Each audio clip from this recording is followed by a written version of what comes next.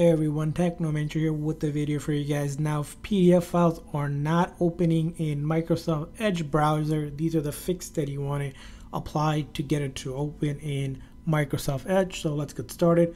The very first thing you want to do is in here, just search default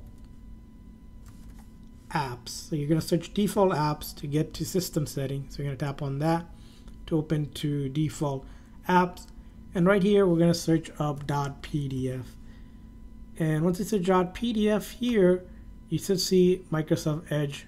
You're going to see this icon. Instead of clicking anywhere, click on this icon right here and then make the default app Microsoft Edge. So we're going to set as default. Now after you have done that, it's time to check the Microsoft setting itself. So right here, Microsoft Edge, I'm going to go ahead and open it up.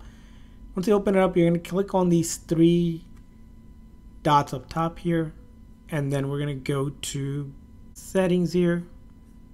You may have to scroll down a little bit and click on settings. And then from here we're going to go to cookies and site permission right here.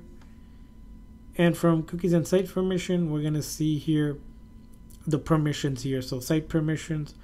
So we're going to click on all permissions and then scroll down here until you see PDF document. So you're going to click on PDF document.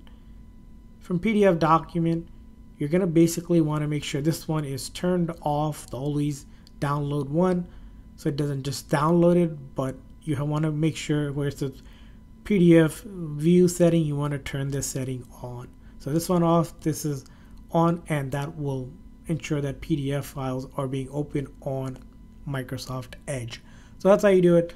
I hope this video was helpful. If so, please consider a like and subscribe button for more tips and tricks. We'll see you guys next time.